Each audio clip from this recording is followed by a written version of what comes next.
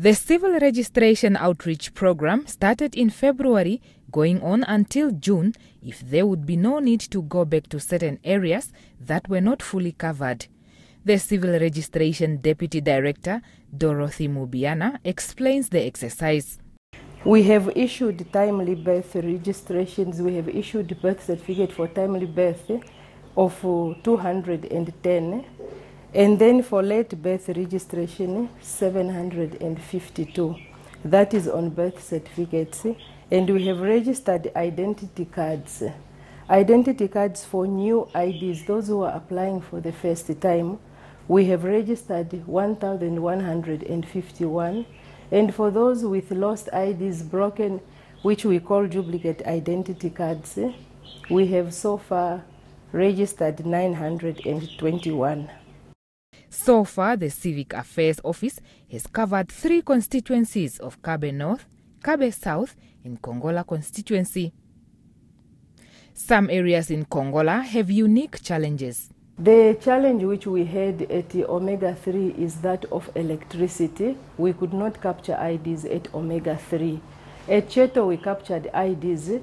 The main challenge which we were having in Cheto is that we found that there is a, bit of language barriers, especially to the spelling of their names. But we managed with the help of the CDC and the community leaders. We, it was a, a successful exercise in Cheto.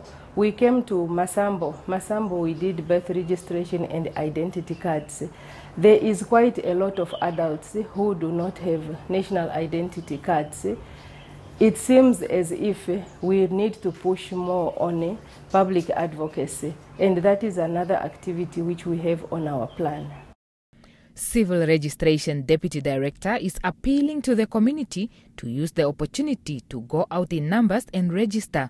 Mubiana invited those who might not qualify to obtain the documents to visit the registration points to be advised further. For a person born in the hospital, it is required that you bring the hospital card where the first immunization of the child is. And for those who are born in the villages, the village leaders, like the headmen, they can give a letter to testify that they know the birth of that particular person. Those are some of the requirements. Also, a first uh, testimonial of the school where you attended grade 1 to grade 3, it can also serve as a proof that you have been born in that particular area. The identity card of the parents, the mother and the father, if available. If the, one of the parents does not have an identity, as you know, we are a border town, we have cross, cross border marriages. If it is a national identity from another country, bring it, we do accept them for the registration of your child. Birth registration is important for the child to get a name, for the child to have immunization, for a child even to get married one day, you need an identity.